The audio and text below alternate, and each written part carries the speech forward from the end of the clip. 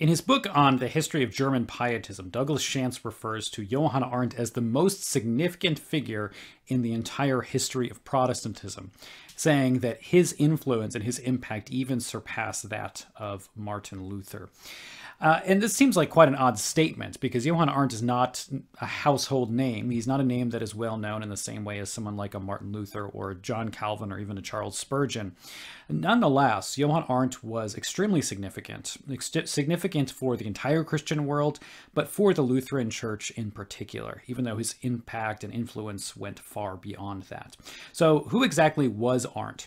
Now, Johann Arndt was born in the middle of the 16th century. Uh, so he was born as the Reformation was already going on. And he attended university at the University of Wittenberg, uh, of course, famously where Martin Luther himself taught, and then Melanchthon after him. He attended there in the late 1570s. And as he attended, that was an era where there was a lot of theological controversy and division. So, um, all of this controversy and division meant that there were these basically two sides called the Gnesio Lutherans and the Philippists who were arguing about a number of issues. And that was all settled in the, the Formula of Concord, uh, in the Book of Concord, which was published first in 1580. So Arndt was in the midst of an era of debate, an era of polemics, where people were trying to figure out and nail down the particulars of Lutheran doctrine. Now, after attending the University of Wittenberg, uh, Arndt became a preacher. Uh, he was a pastor, and he went to go preach in Anhalt, where eventually the Calvinists ended up taking over rather than the Lutherans. And because of that, there was a bit of controversy over some of the things that Arndt was teaching and the way that he was practicing.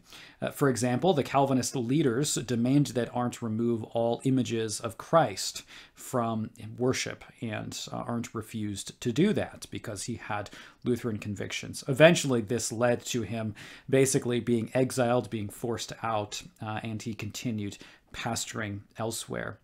But what Arndt is most well known for uh, is his writings. Uh, Arndt's significance is particularly in his devotional writings. Uh, and in a, one work that is very well known and published in a number of different languages, which is titled True Christianity. Now, True Christianity was by far the most influential devotional work coming out of the Reformation. And by that, I mean the entire Reformation from the Lutheran and Reformed traditions. Uh, Arndt had a huge impact. Even had actually somewhat of an impact even amongst Roman Catholics. So, in the entirety of the Christian world, though he himself certainly had Lutheran convictions, which are apparent throughout his writing. Now, uh, Arndt became a bit of a controversial figure as well, even among Lutherans. Now, he was a controversial figure first for being Lutheran in a Reformed territory, uh, but there were some concerns about what Arndt was writing in his True Christianity. Now, Arndt's influences in his writing were devotional influences, and writing just after the Reformation Arndt was drawing largely upon medieval writings. And the most influential works upon Arndt's own writing were uh, Thomas à Kempis's writing, The Imitation of Christ, the Theologia Germanica, the works of Johann Tauler.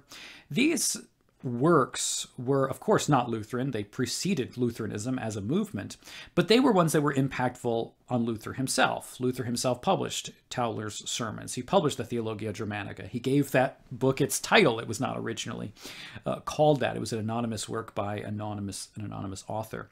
But it was those devotional writings and that devotional and even you might say mystical aspect of Luther's thought that Arndt really clung to. And because of that, there was some fear or some worry on behalf of some Lutheran theologians at the time that Arndt was not speaking enough about the forensic justification, that he spoke too much about Christian experiences and the mystical union that the believer has with God. And throughout these controversies, Arndt wrote consistently to defend the fact that he was very much a confessional Lutheran. He held to a very strong doctrine of forensic justification through faith alone, not by anything that we do. And he continued to write about those themes throughout his writing. And in the midst of some of these controversies, uh, a very significant theologian, in fact, the one who was going to be the most important figure in Lutheran Orthodoxy, Johann Gerhard, himself wrote treatises defending Arndt, uh, who was kind of a mentor to, to Gerhard, and defending his theology and defending his writings as well.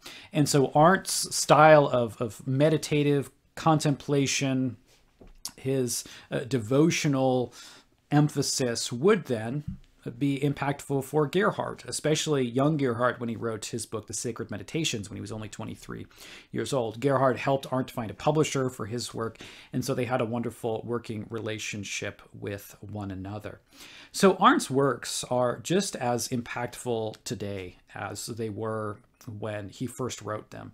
I, I read through Arndt's True Christianity every Lent. I didn't read it last Lent because uh, well, a lot of crazy things happened during that season, as we all know, living through COVID, um, and a lot of other situations as well. But usually during Lent, the season of Lent, I read through Arndt's True Christianity, and you know, there, there's so much in there that I just draw from every every time I read it. It's one of those books that you can continue to go back to, and uh, it's one that I recommend anyone checking out, uh, anyone reading, uh, Lutheran or not. And we have recently published a, a new edition of Arndt's True Christianity. It's in three volumes.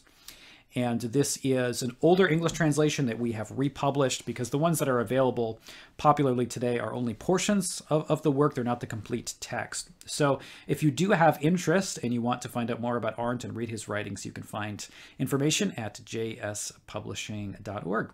Thanks so much for watching. We'll see you next time.